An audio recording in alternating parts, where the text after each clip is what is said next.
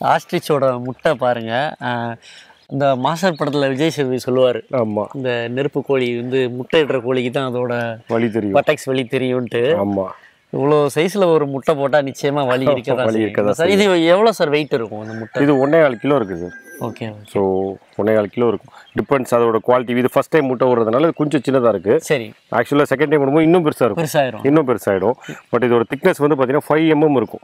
இந்த ஓட இந்த ஓடோட திக்னஸ் வந்து ஃபைவ் எம்எம் இருக்கும். நீங்கள் கீழே போட்டு உருட்டினா கூட ஒன்றும் ஆகாது. சார் இப்போ இது என்னைக்கு சார் குஞ்சு பொரிக்கும். ஸோ இது வந்து நான் ஃபெர்டைல் எக் தான். ஸோ இது வந்து பார்த்தீங்கன்னா மேட்டிங் ஆகாமல் போட்ட முட்டை. அதனால இது வந்து இன்குபேஷனில் வச்சாலும் குஞ்சு பறிக்காது.